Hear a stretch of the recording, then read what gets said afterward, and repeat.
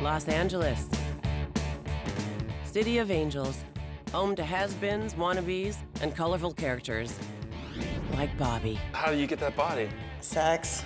and her friend Blue. That looks terrible. Just make it look like I'm 12. Yeah. Oh, and their friend Athena. Kelly Clarkson. And let's not forget their other friend, Sharise. Speak up the uh, maitre d' because I don't like this table. No doubt, these four lovely ladies are soul sisters. I've been fighting with them so bad for the past two days. I went psycho. You can tell. Just listen. It's over. Why are you still having sex with him? Because I'm horny? I just want to throw up a little bit in my mouth. You see, you have to love someone to be that mean. Really? Oh! Yes, these girls have seen some great times together.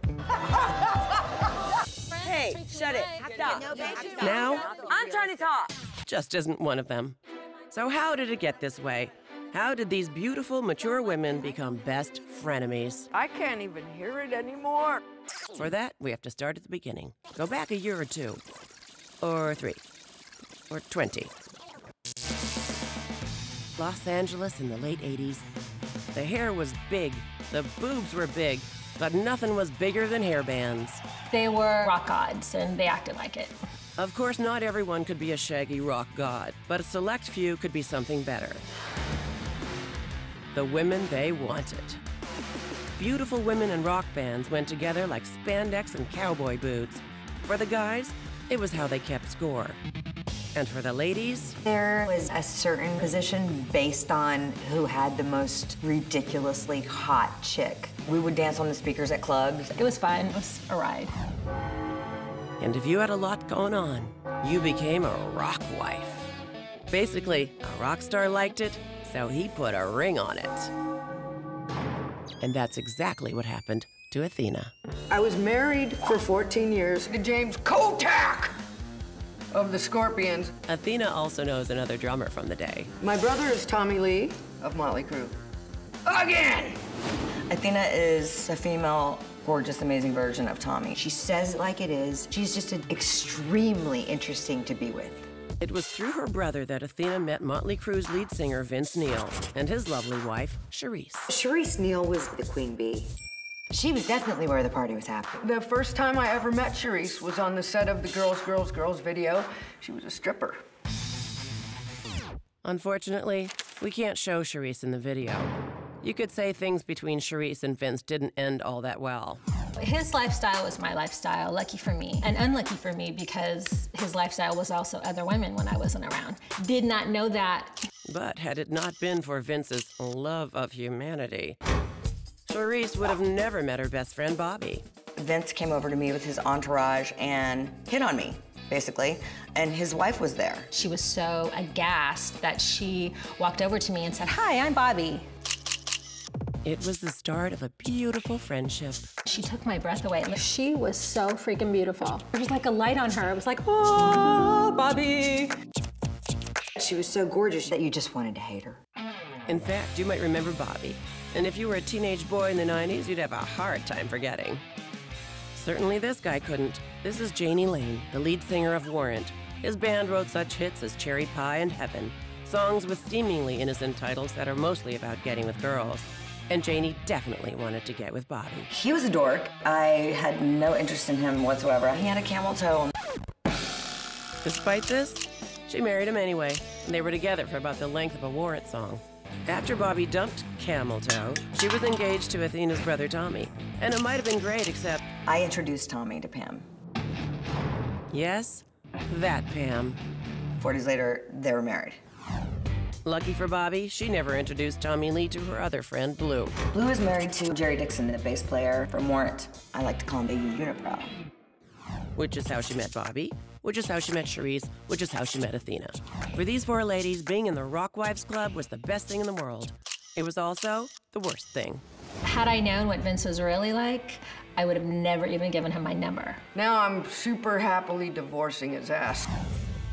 It's nice to be the life of the party, but the funny thing about parties, they end, and you usually wake up with a hangover and a big mess. Aging sucks. You used to be so beautiful. I know what happened. But the ladies have sobered up, and now they're on a mission. Not to have things as great as they used to, mind you, but maybe something better. These are ex wives of rock. Coming up, meet the loved ones, If you are not up in 30 seconds, I'm gonna cut you off. and the not so loved. You have a $2,000 order here, Sharise, for 8.30. Why would you not make it?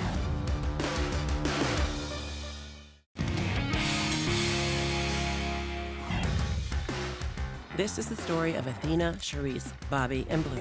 Oh! Four best friends who all made the same choice We married rock stars. with pretty much the same consequences. Divorced. Divorce. Divorced. Now, these ex wives of rock are out to prove there is life after the party. I was married 14 miserable years. Now I'm super happily divorcing his ass. Athena may want to set her rock star hubby on fire, It feels good. but she burns with undying love for her three kids. I have some amazing kids. Totally my fault that they're so awesome. Toby is my oldest. A lot of times I just call her Toby! Toby! Toby! Just to freak her out. Let's just be sluts. Sometimes I feel like my mom is like a sister, kind of, because I don't have any sisters. Whoopsies. She's like my best friend. Guys love Toby. She's got this little tiny figure with these BAM! boobs. Hey, where did that big ass cookie sheet go? You know, oh, there it is. Never mind. Never mind. Miles is 18, and, and he's a monster drummer. This goes in the salad, right? Yeah, just keep slicing them like that. Do you think if your friends saw you cooking with your mom, they'd, you'd lose street cred? Yeah.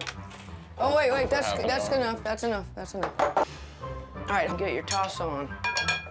Chicks love guys that cook. Guys that cook get laid. Yeah, I'm gonna, I'm gonna go hang out by myself now. Then there's Maddie. Hey, it's ready.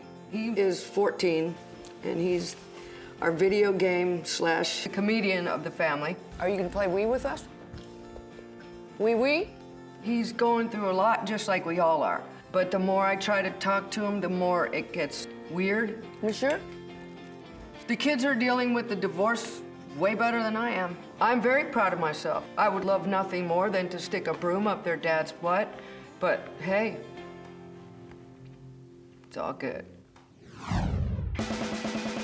I was married to Vince for seven years. That's pretty good. That's like 100 years in rock years. I had a two-week-old baby. My friend calls me, she's at the Rainbow, and she said that Vince is there with a girl. I went to the Rainbow, and somebody must have told him that I was there, and as I went in the front door, he went out the back. Cheating hubby slips out the back door.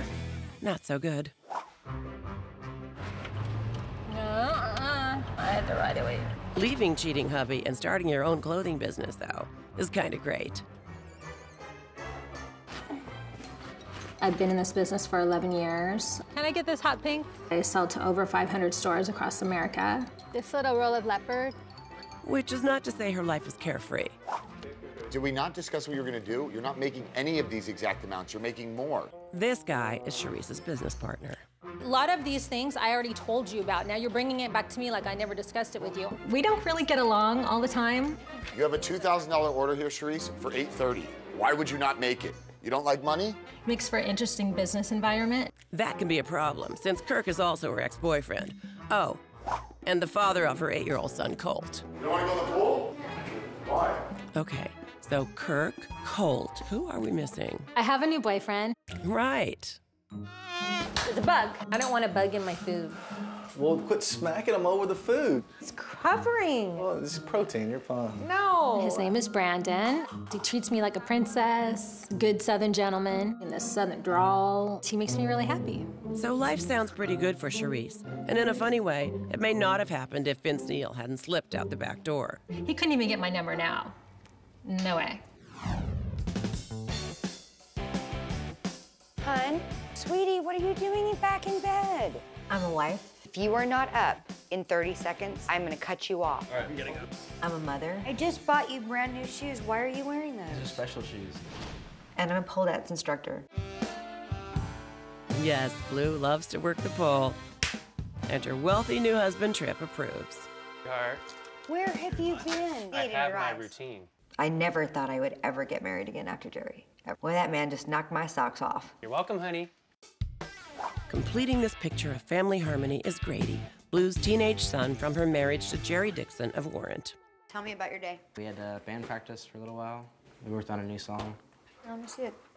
This is your, like, a fan page or something? This is the MySpace page. I can't understand the. This is our slow song. No wonder you're not my friend on MySpace. He's transitioning into this man, and he's got this drive to become a mu- musician. Taking the path of the lead singer, my biggest fear come true. I'm hoping that that's a phase and that it will pass. You told me when I was 10 that that would drive you to the grave. It if I joined a band. Yeah, and you've done it anyway. Clearly, you are trying to kill me. Despite Grady's efforts to disappoint her to death, things are all right for Blue. About her biggest crisis at the moment is moving from her big house in the hills to an even bigger house in the hills. Hi there, yes, I'm calling up to inquire about a move. I am absolutely at the end of my rope. I need a lot of help. I need a lot of people. I need supervisors. I don't want to say that I'm neurotic, but, well, everything I have really is priceless. Let's schedule something for someone to come out ASAP. Thank you so much. So Blue is moving on up. And Bobby, well, she's moving too, just in a different direction. The engagement to Tommy broke. Then he married Pamela Anderson four days later. It was a really bad time in my life. Today, Bobbie is unemployed, in her 40s, and living in a one bedroom apartment with her dog. You don't like that one? So picky. But all that's about to change. You see, Bobbie's boyfriend Damon has asked her to move in with him. There's just one problem. Lies, deception, cheating, addictions. I mean, you name it, it's been crazy. Actually, there's two problems. He's currently in rehab. But on the other hand, the sex is great. So moving in it is. Oh, God. That's crazy, right? Having a relationship with somebody that runs around on you and Well, yeah, he always picks the wrong disappoints you and all that kind of stuff. Sobriety has done fabulous things for his personality and his feelings and all those things. So I, I mean, I, I guess I'm gonna have to give it a shot, and then just this will be the last shot. You know, if it doesn't work out, then that's just the final blow. Got to look at all the positive things here. I know. You're beautiful. You're smart. You have a good body. I know, mean, well- really, I would do you. Mom. Coming up, What is this? This is lubricant. the ex wives never fail to make it awkward. He makes you sad, he makes you cry. We have great sex.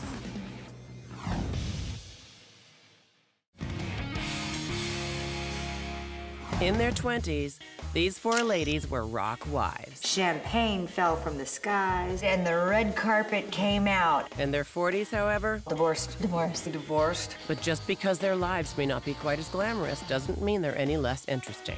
Of the four of us, I'm the most together. And for someone as together as Blue, moving to a new house should be a breeze. I just feel so overwhelmed. Or a crisis of epic proportion. I'm feeling very much like I need a spa day right now. When Blue needs a spa day, you know things are bad. I am entering the ninth realm of hell. Oh my God, what a nightmare this is going to be. I am extremely organized, particularly in my closet. Dresses, designer, styles, color. I would like to pack all the bustiers together. And then, you know, we get to the shoes, the most important thing in the closet. All the platforms are going to be at the top, and then the Louboutins, the Manolos, the Jimmy Choos are going to be in the center, so we can obviously showcase them. I'll start with jewelry. You start with shoes. Okay. Oh, this is Gloria, Blue's maid. She's completely faithful to Blue, but no one's perfect. I found this over there, but I don't know. I don't know what is. Gloria is amazing. You don't know what this is? No. I couldn't imagine my life without her. Thing was for the it's- shoes. it- But she is a little bit naive. This is lubricant. for the sex. Yeah. Exactly, it's for the sex. You can also use it to rub this down, or you could also use this for a night of pleasure with Anthony. Okay, ma. I'm meeting Bobbie for lunch today. It's been a while and we need to catch up. Isn't this place cute? We should come here at night on a double date. Double date? I'm, yeah, I'm with not my with that- boyfriend.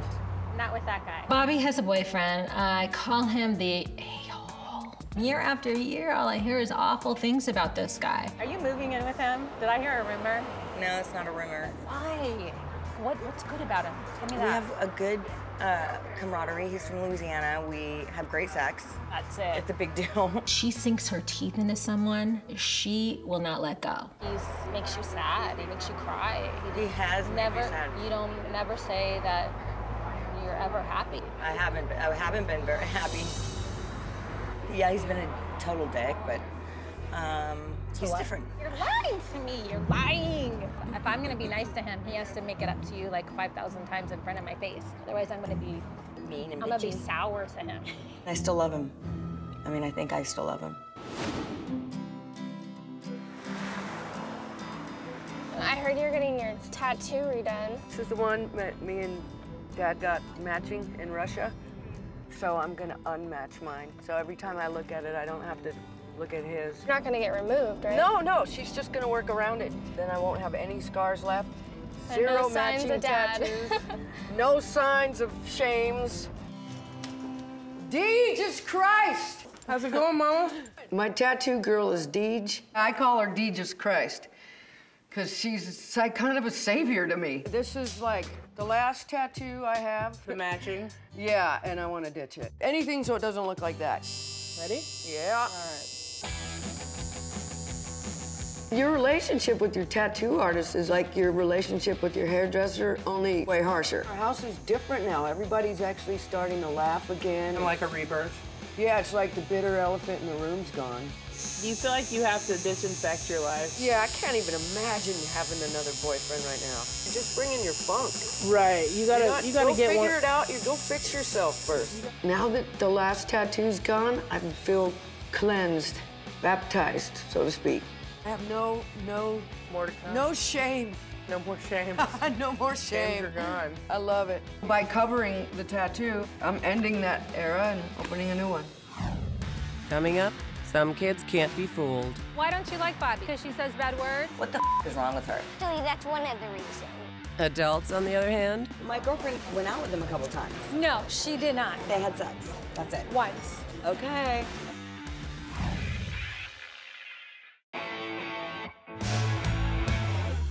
Athena, Sharise, Bobbie, and Blue. Four beautiful women with lives full of promise until one fateful day. They married rock stars. Now I'm super happily divorcing his ass. And they've been paying for it ever since. It was excellent until it was crappy. The most important thing, they're best friends. We're very much a support group for each other. Hey, shut it. Stop. Stop. I'm trying to talk. Tonight, the support group's meeting at Sharise's for drinks before dinner. But first, Sharise needs to run it past her roommate. Is that okay? Maybe. It's Bobbie. We're gonna hang out and talk. Bobbie! Why don't you like Bobbie? I'd rather have Athena come. Well, why don't you like Bobbie? Tell me why, because she says bad words? Well, actually, that's one of the reasons. What about Athena? What is she? Hippie freak. Why is she a hippie freak? Uh, I'm mistaken. That's blue. Then what's Athena?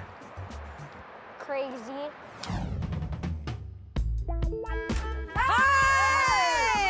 Hippie freaks here. Crazy ladies in the hizzle. From your yard. From your Thank garden. you. But Bobbie's MIA. She was an hour and a half late to her own wedding. How very Axl Rose of her. Oh, there's Bobbie. Mm, awesome. We hit it. What up, Hobad? Good. We match. We match. Sweetie, do you remember when you were an hour and a half late for your wedding? Blue griped about Bobbie's lateness for another 20 minutes, making them late for the restaurant reservation. I've been dying to ask you about Brandon. Uh, yeah, when did that even happen? I- My birthday party. He's like the sweetest, most amazing guy. He's just like 100% in. He's great with my kid. I have my doubts about Brandon. My girlfriend went out with him a couple times. No, she did not. Or they had sex. That's it. Once. And then she tried, no, once. Yes. No, once. Okay. He dated a friend of mine before Sharise. She pointed out some things that weren't didn't make sense or add up or whatever. He never took her to dinner. He never took her to No, drinks. didn't. No, he didn't. Stop Oh. it. Stop it. So Athena, have you started dating yet? Not seriously. I don't. I can't even get there. It's too soon. Do your thing. Hey. How long were you married to him? 14 years together, 20 years. That's a long time. He chose to just like start banging some chick. Listen to how I found out. He drunk Skyped our daughter Uh-huh. with her in the room. What? The other girl? Yeah. That's but what you how tell your come kid? That's how you come out with all your bullshit. You drunk Skype your daughter. I know exactly what she's going through, and I wouldn't wish that on my worst enemy. Wow, that's more sympathy than they have for Bobbie. How are you back with him, Bobbie? How are you back with that guy? Now he's sober and has been, and it's done a complete 360. And we're gonna try and make it work. They could be right. I could be totally wrong. And in that moment, I, they can say, I told you so. But for right now, I want them to support my decision because they're my friend. I'm giving it my last shot, and I want them to support me, not bring me down in my hope. Obviously, I love him, otherwise I wouldn't be still here. So where's your man been? Your man's been away. He's been traveling a lot. Why? A lot. That's hard. But we have a great bond. You guys, I'm so in love awesome. with this man. I've Good never met a more compassionate, genuine, generous, for the greater good of everyone around them. Uh, enough already. And he is so incredibly patient with me. Good. I'm happy for you. Be quiet. It's because you walk around the house in a bikini and, and high heels. He encouraged me to do that. Yeah, I bet he did. I bet he did. When we talk to each other, we don't sugarcoat anything. We don't need to. We get each other. Even though we're all weird in our own way, we get it. All right, I'm gonna make the first toast. Okay, to Bobbie, my inspiration. to rekindling the fun of old friendships and the love that we have. Yeah. Drink up. So there you have it the ex wives of rock, possibly the most delightfully dysfunctional support group in all of LA. We're back. Let's do this right. Coming up this season on Ex Wives of Rock. She thinks this guy is the love of her life. This year has been the roughest year of my life. We don't have a sister. Our dad doesn't live with us. That's the family. What proof or evidence you have that I'm milking an extra 15 minutes of fame off of my ex-husband's death? what I am seeing is really bad. It's kind of like being sisters. When you're very close to someone, you feel like you are somewhat responsible for them. Beautiful. Perfect. That's what's happening here. Welcome back to the stage. Yeah. I'm just ready. I'm ready.